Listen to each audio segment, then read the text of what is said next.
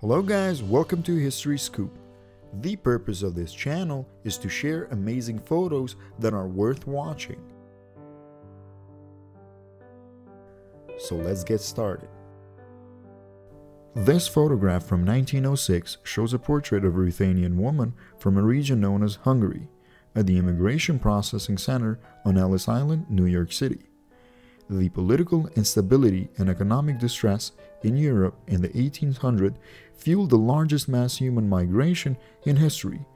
Over the next 62 years, since January 1, 1892, more than 12 million immigrants from all over the world have arrived at Ellis Island, mostly known from Europe in the first wave.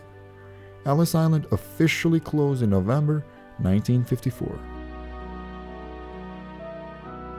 Two pin-curled women have stopped in the street with slanting spines of books and the other with a volume in her gloved hands, head bowed toward the open pages. When it comes to borrowing and reading books from libraries, critics claim that English people were far behind those in other European countries of the time. So, like a walk-in library, this enterprising London girl tackles the problem by carrying her books in a rack tied to her back around the streets from door to door. People could easily borrow books for the low cost of two pence. What an ingenious idea!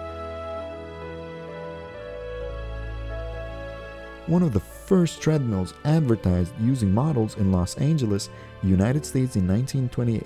In February 1923, the Halstead treadmill was exhibited in Chicago Winter Show.